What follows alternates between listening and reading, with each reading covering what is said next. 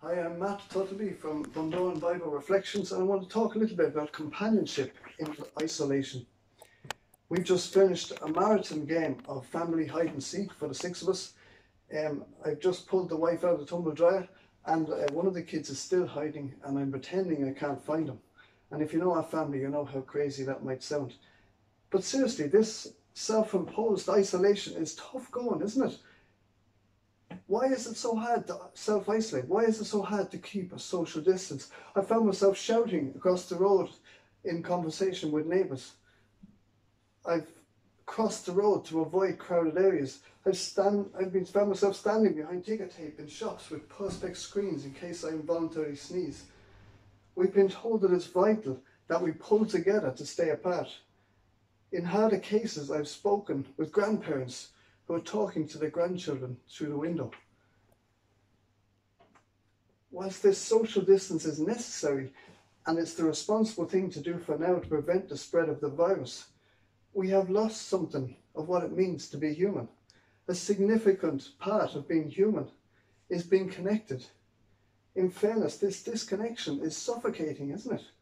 One day we will hug again and shake hands firmly. Mm-hmm. But for now, we have to cope with this distance and loneliness. Now, it's one thing explaining that they are, people are socially isolating from themselves and will talk to you soon.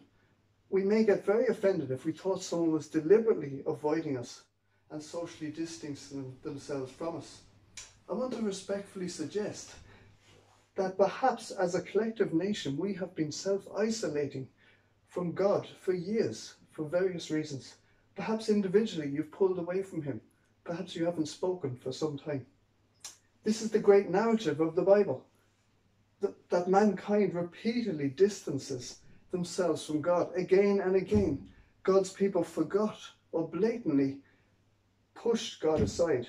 Ironically, mankind always seems to get in, into a muddle when he runs away from God the values of a God isolating society turn crooked and selfish. We've seen that ourselves in the supermarkets. On the other hand, the very makeup of the triune God is a community in harmony. At the most pivotal climatic point in the scripture story is the God, Father God, is dismayed at his isolation from mankind and the damage that we bring on ourselves. So God did something dramatic and costly about it. He generously sent his own son, Jesus, who died and gave up his life generously for us. He longs for us to share in the divine community of the Godhead. We were made for him and we will not find rest or peace without him. There's a wonderful promise that Jesus gave those who followed him those who ask to be rescued, those who hang on his every word. He says, I will never leave you nor forsake you. James also gives us another beautiful promise to claim during this time. He says, Come near to God, and he will come near to you. Let me say that again. Come near to God, and he will come near to you. If you're hiding in a cupboard, struggling in isolation, distance from loved ones, or perhaps lonely even in a crowd, I would encourage you to reach out to him. Perhaps you're fed up listening to your own thoughts. The God of all creation is able to draw close when no one else can. I would encourage you to cry out to God, to pray for this amazing country of ours and its, and its resilient people, and read the scriptures and see the great promises that it contains for us. What I'd like to do now is to pray for, for us in this time of isolation. Maybe you bow your heads and join me in a prayer in isolation. Father God, you know all our circumstances in this crazy world. You understand every thought that flies across our minds. You are moved by the deep feelings of unease and discomfort. You appreciate your great need for connection and how we miss our family and friends.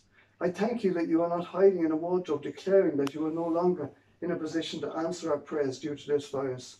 I thank you that you are not constrained by our social distancing rules. I thank you that this disease has not curtailed your involvement in humanity. You promise that those who seek you with all their heart will find you.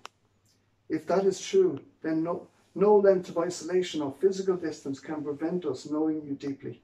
We ask you this day for a stronger desire to seek you. We thank you that you are the God who won't force yourself on anyone, yet who delights to be found.